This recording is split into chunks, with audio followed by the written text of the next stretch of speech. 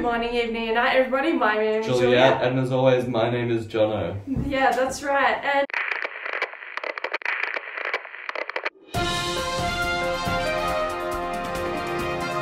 We interrupt this Best News Ever report with another Best News Ever report. We are your anchors, Anthony and Bunny. Today we have news of Zacchaeus climbing a tree yet again, uh, but it's not for the reason that you might be thinking. But more on that later. First, we need to cross over to our futures presenter, Jenny. Jenny, how is the future shaping up? It's not looking like the best forecast today. Uh, in fact, you might say it is bad news. Uh, as you can see over here, we're going to have a high pressure system uh, that's going to lead to war and uh, rumours of war. That's going to be travelling south.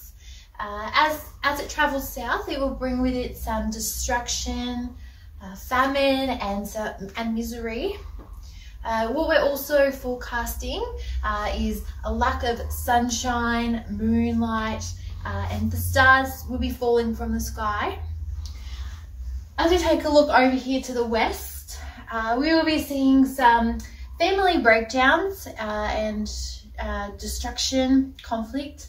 And then over here, we are predicting um, a trough that is going to lead to people who follow Jesus uh, be, being persecuted. Uh, and that is the forecast. Jenny, this sounds awful. Do you know when these things will happen precisely?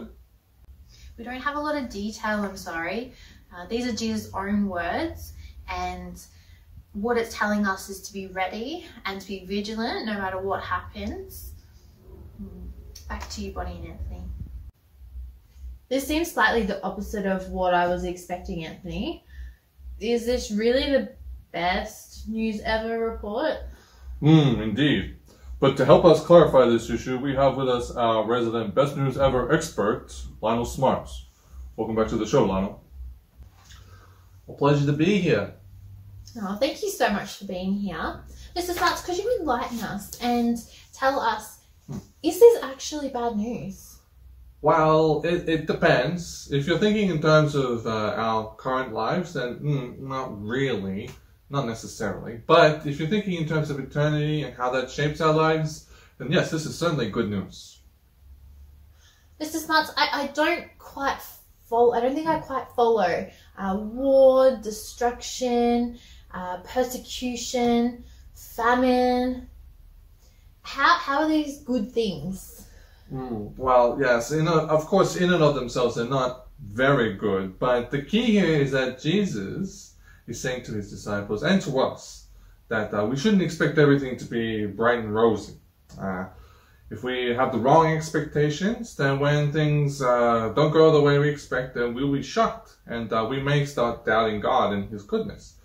Uh, but here, Jesus is preparing us for what's going to happen, and, then when it does happen, we'll be ready. Okay, well, I see that that does make sense, but what does this mean in terms of eternity? Couldn't Jesus just come back um, sooner so we didn't have to go through all of this? Hmm, that is a good question. Hmm. Uh, but as you notice, actually, uh, Jesus says that he will make these days shorter uh, for his people's sake. And moreover, that after this, Jesus will come back and he'll complete his kingdom and all his people will live with him for eternity in peace. So Jesus is promising us that even though things will be tough in this life and uh, we may live in hard times, we may suffer, uh, he, he has told us that we shouldn't forget that uh, he'll be with us the whole time. And so we can trust him. And I don't know about you, but I'd rather know what to expect and know that uh, my God is going to be with me through it all. Mm. Well, thank you for clearing that up, Mr. Smarts. That's helpful. Uh, we now have to cross live to our reporter, Justin Time. Uh, he's at the temple where uh, the temple treasury, where apparently something is happening. Justin, what's going on? Yes. Good day, Bunny. Uh, I'm here, and the story here is that uh, I'm about to tell you the news. Uh, I'm at the front of the temple complex, and we have a poor little old lady who's approaching the temple looks like she doesn't have enough money. All experts agree she does not have enough money. I will ask her a few questions. Uh, excuse me, little old lady. Yes, yes, you. Uh, uh, what do you think you're doing here? Don't you think you don't have enough money for this place? Certainly not.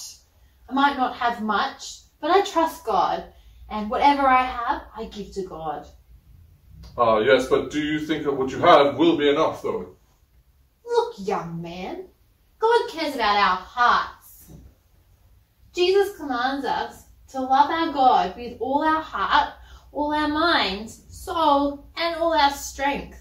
I might not have much money, but what I have, I give to God. Everything. Thank you. Oh, yes. Well, well, uh, that's all the news we have here. Uh, looks like this news reporter has a lot of repenting to do. Uh, back to you, Bonnie and Anthony. Well, thank you, Justin. I think that's a reminder we all needed to hear that whatever we think, say, and do is offered to God. Thanks be to God that we have Jesus as our Saviour. Jesus lived the life that we should live, and we can now live a life through Him in faith. Well, that's a wrap for today's Best News Ever report. Wherever you are in the world, stay classy and trust Jesus. Good day. Good day, everyone.